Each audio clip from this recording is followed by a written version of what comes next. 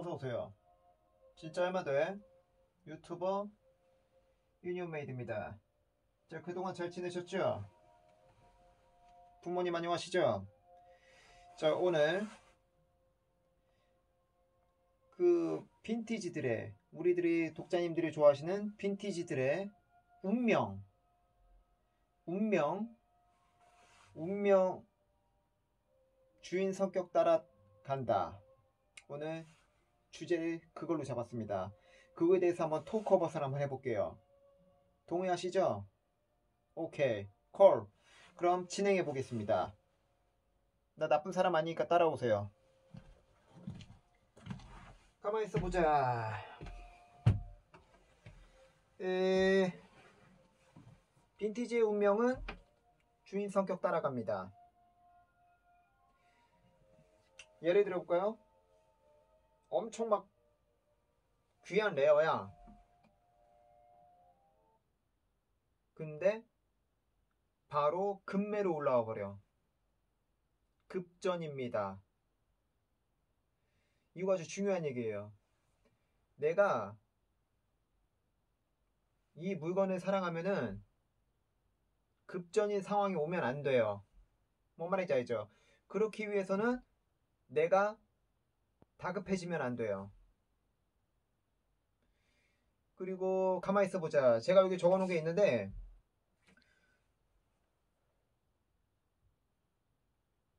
빈티지 운명은 또 이런 게 있습니다. 또 대박 물건이야.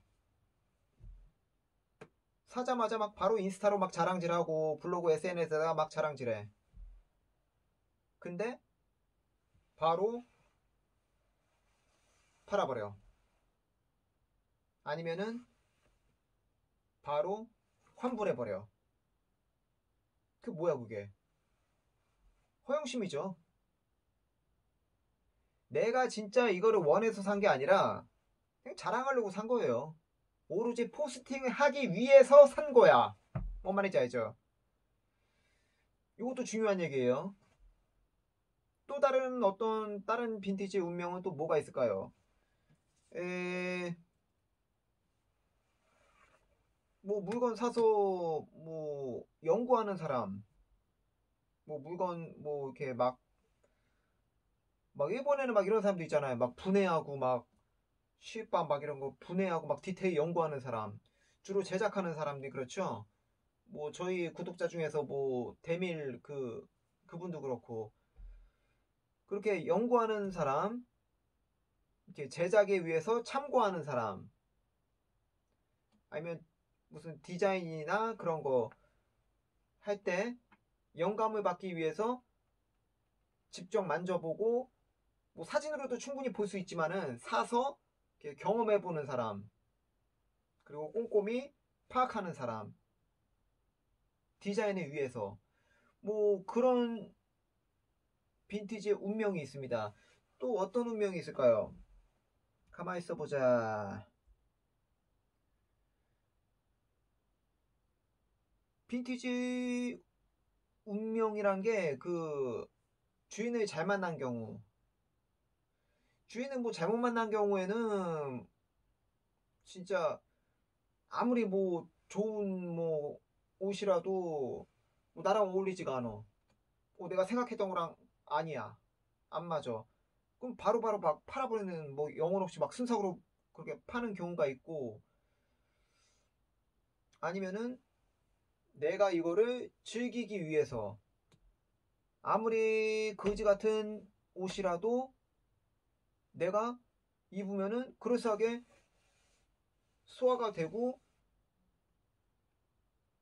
unknown인데도 뭐 어디 거냐 이런 소리를 들을 수가 있는 사람. 그런 사람 즐기는 사람이 끝판왕이죠.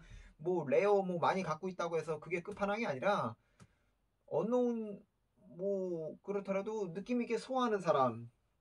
그게 끝판왕이라고 생각해요. 뭐 끝판왕이 뭐 따로 있나요?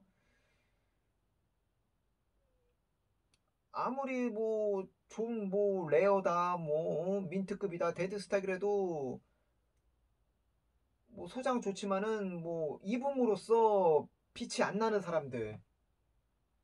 그게 되게 값어치가 없어 보이고 찌질해 보이는 내가 왜 비싼 돈 주고 샀는데 왜 거지 같다는 소리 들어야 돼? 내가 왜 비싼 돈 주고 응? 비딩하면서 막 영혼까지 막 끌어모아서 샀는데 내가 이걸 입고 왜 찌질하다는 소리 들어야 되지? 물론 나도 안 어울리는 것도 물론 많죠. 뭐 그런 물건들의 운명은 바로 이제는 마켓으로 가죠. 중고 장터나 이런데 뭐 환불 그런 것도 있고 그렇기 때문에 빈티지의 운명은 주인을 잘 만난 경우에는 진짜 즐기는 사람 입고 빛이 나는 사람 어울리는 사람 그런 사람들한테 가면은 아무래도 그 빈티지의 운명은 주인을 잘 만났다. 뭐 성격 따라 가잖아요. 그 뭐 어떤 주인은 뭐 빈티지를 입고 마구 막 입는 사람 막 막 험하게 입는 사람만 입는 이렇게 다루는 사람이 있는가 하면은 조심조심 아니면 애, 소장만 하는 사람 아니면 보관만 하는 사람 그러다가 응? 시세 오르면은 뭐 되파는 사람 뭐 그런 사람도 있고요. 물론 또 어떤 경우가 있냐? 에... 뭐? 좀 전에 했던 얘기를 한번 같은 얘기인데 빈티지를 돈으로 보는 사람 이거를 재테크로 보는 사람들 있잖아요. 그 뭐냐 새 것보다 더 비싸게 파는 사람들이 있어요. 중고 구제를 그냥 어리숙한 놈 하나 걸려라 이런 심보로 잘 모르는 사람들한테 막 괜히 감성 후렵하면서 뭔 말인지 알죠? 그리고 또 예를 들자면은 이 중고 분야가라는 게 참 그래요. 그 뭐랄까 에 중고 자동차에서도 그래요. 차에 대해서 잘 모르는 무슨 아가씨나 뭐 이렇게 잘 모르는 사람 어리숙한 사람이 오면은 분명 중고차인데 시세 전혀 모르는 사람들한테 감원 이설로 막 응? 새 차보다 더 비싸게 파는 사람도 있어요. 제가 그걸 봤어요. 근데 그게 먹혀요. 통하니까는 이런 의류 시장 쪽에서도 마찬가지로 그런 사람들이 있어요. 어디냐고 내가 말은 않겠습니다. 물론 여기 구독자들 중에서도 업하시는 분들도 많고 그렇기 때문에 제가 어디라고 구체적으로 거론은 안 하겠습니다. 에... 새 차보다 더 비싸게 파는 게 말이 안 되잖아요. 그렇다고 엄청난 막 프리미엄이 붙어서 무슨 뭐 레어고 뭐 한정판이라서 뭐 나중에 프리미엄이 붙고 뭐 그런 거면 모를까 옷 같은 경우에도 그래요. 그 나이키 그 리셀 있잖아요. 한정판 나오면 막 밤새도록 줄 서 있는 사람들. 그 사람들이 그걸 즐기려고 사는 게 아니더라고요. 근데 제가 아까 말했듯이 즐기는 사람이 끝판왕이에요. 뭐 이거 되팔아서 뭐 시세를 차익을 노리고 그런 즐기는 거 말고요. 입으면서 즐기는 거 말이죠.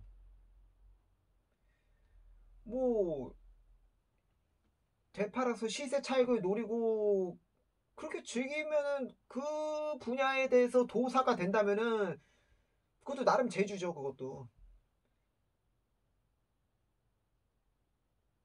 뭐 그걸로 해서 재테크해서 뭐 돈 버는 것도 물론 나쁘다고 생각할 수도 있고 안 할 수도 있고 그거는 각자 그 기준에 따라 다르겠지만은 제가 말했듯이 오늘 가장 중요한 얘기는 즐기는 사람이 끝판왕이에요.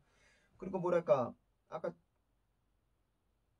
아까 했던 얘기 뭐 내가 아끼고 사랑한다면은 뭐 급매 내놓습니다. 급전입니다. 뭐 말인지 알죠? 그렇기 때문에 내가 다급해지면 안 된다. 뭐 이것도 중요한 얘기입니다.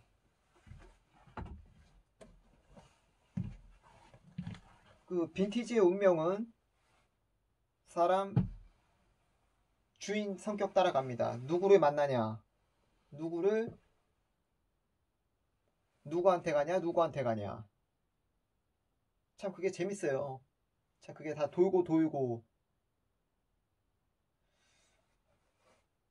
그 이게 많은 뭐랄까 수가 매니아들이 많지도 않고 이제 그 누가 아이디가 그놈이 그놈이야. 어디 가서 뭐 어디 어디 카페에서 뭐 아이들이 바꾼다 해도 그놈이 그놈이야 다 알잖아요. 시장이 좁아요 국내는. 뭐 세계도 맞춰 뭐 가지고 우리 이베이에서 뭐 저놈이 저놈이고 뭐 물건만 봐도 딱 누군지 대충 다 알아요. 다 이렇게 돌고 도는 이 좁은 시장에서 참 이 물건이 뭐 누구한테 가냐 누구한테 가냐 그 운명에 따라 그 주인 성격 따라간다는 게 참 그게 그것도 하나의 재밌거리입니다. 어쨌든 오늘의 요점은 그거였습니다. 즐기는 사람이 끝판왕이다. 뭐 레오고 자시고 간에 즐기는 사람이 끝판왕이다. 뭔 말인지 알죠? 자 진짜 야만 돼. 많은 구독, 좋아요 부탁드립니다. 그럼 부디